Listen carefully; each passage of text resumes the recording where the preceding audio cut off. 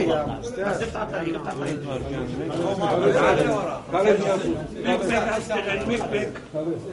شوي انت على الطريقه صح يا محترمين شوي شوي بس يدخل وزير